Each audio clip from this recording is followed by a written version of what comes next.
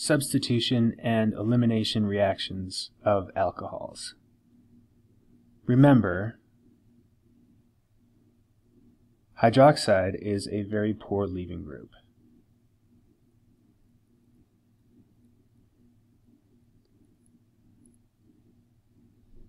If we use a halo acid, HCl, HBr, or HI, we will first protonate the hydroxide to make water, which is a good leaving group, and the halide ion that's generated in the proton transfer step then acts as a nucleophile. Here is T-butanol, a tertiary alcohol, will react with HBr. This proton transfer reaction changes, well it protonates the alcohol. So now we have water, which is a good leaving group. And um, the uh, halide ion is also generated. That's going to be our nucleophile. But it can't do SN2 attack because our substrate is tertiary. So we have to do loss of a leaving group first. So the loss of a leaving group only requires this one curved arrow. And now we've generated our nice stable tertiary carbocation. And in our third step, we have nucleophilic attack at that position by the bromide ion that was generated during proton transfer of the hydrobromic acid. And so here is our final product, 2-methyl, I'm sorry, 2-bromo, 2-methyl propane, a tertiary alkyl bromide. What we've effectively done is we've replaced the hydroxyl group with the bromide right? And we, of course, had to have the extra step, the proton transfer, to um, make our hydroxyl into a good leaving group. For a primary or secondary alcohol as our substrate, we're going to go SN2 after we do the proton transfer. Right, with tertiary we went SN1 after proton transfer, but with primary or secondary we go SN2 after the proton transfer. So here's the oxygen taking the proton from the halo acid. This will kick out a bromide ion.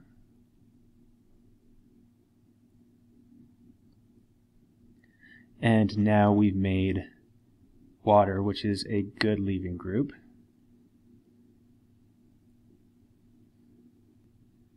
And of course, this first step is proton transfer.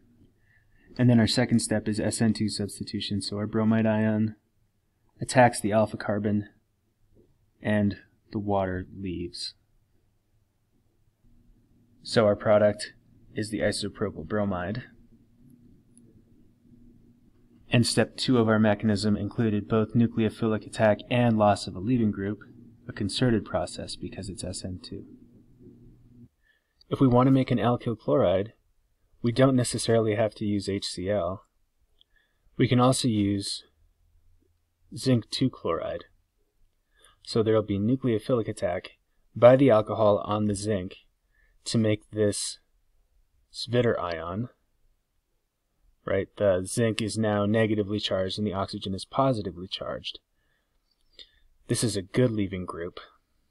And um, chloride ion that is present in solution because of the zinc chloride then does nucleophilic attack, right? This is SN2. And so um, we get our alkyl chloride, and we should also have this.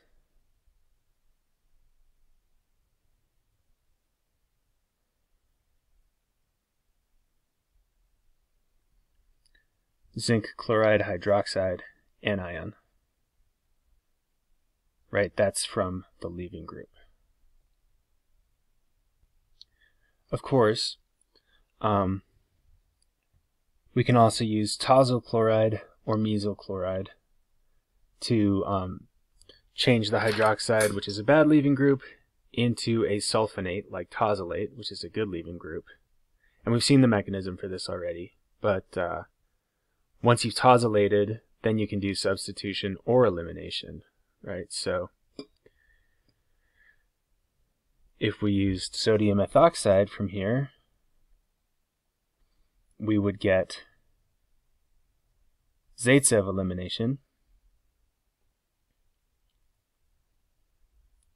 And if we use tert butoxide, we get Hofmann elimination.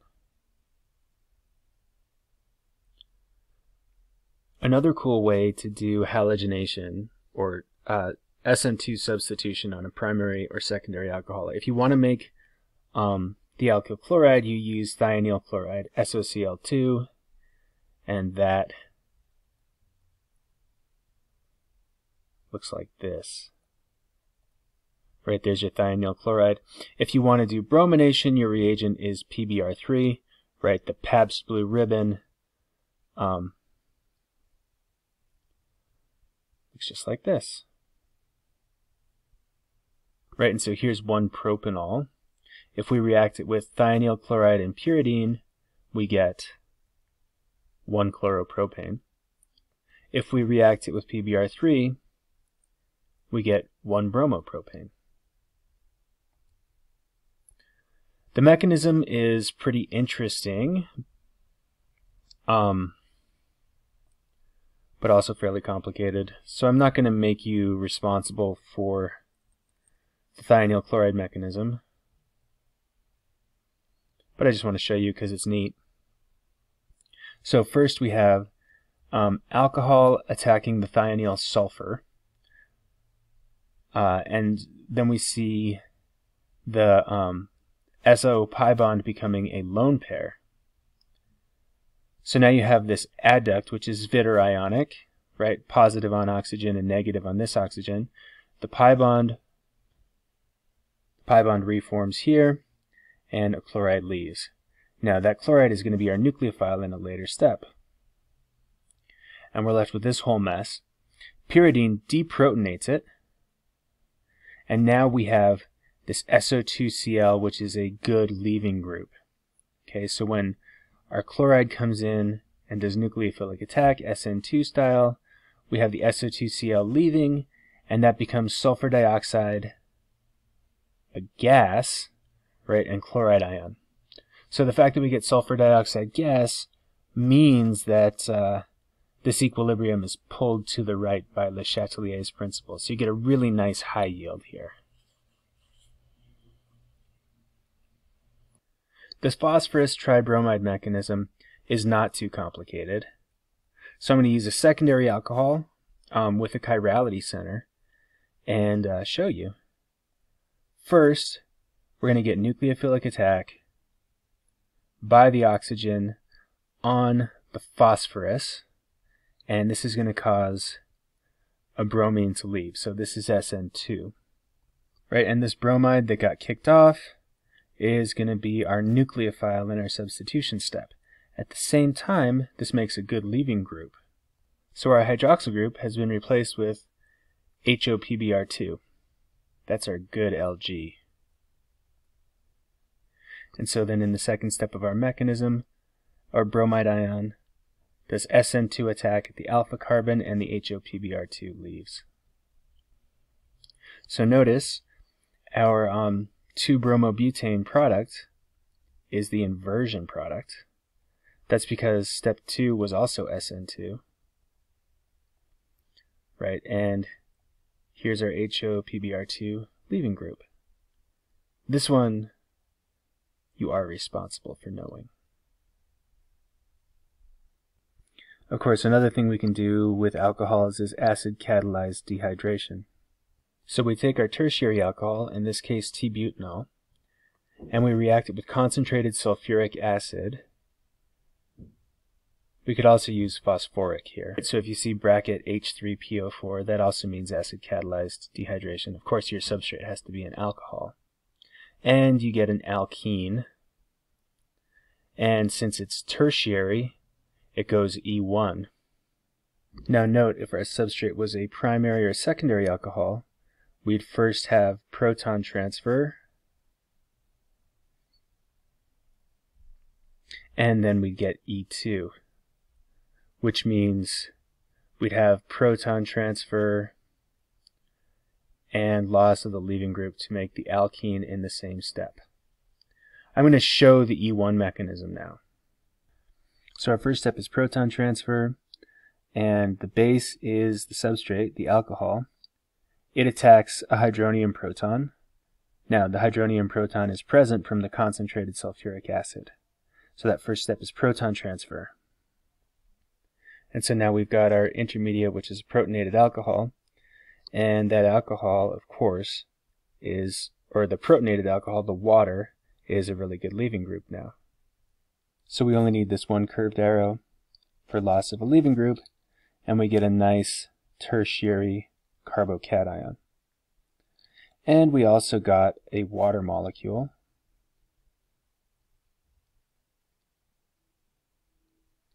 And the water molecule is going to go after one of the beta protons. Let's say it takes this one right here.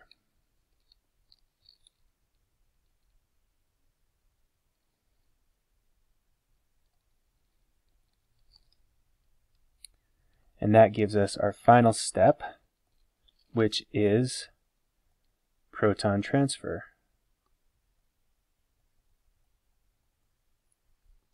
Right? So this is E1 because we've got loss of the leaving group in an earlier step, followed by proton transfer in another step.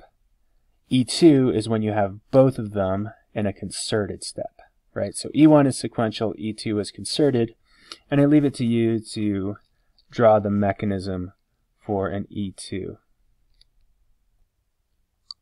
So, like for instance, if you had 2-butanol as your substrate, and you reacted it with concentrated sulfuric, it's now going to do proton transfer followed by E2. Um, so pause and draw the mechanism. And then when you're done, you can unpause it and check to see if you got what I did. So here's my solution. First, proton transfer from the hydronium to the alcohol to make a better leaving group.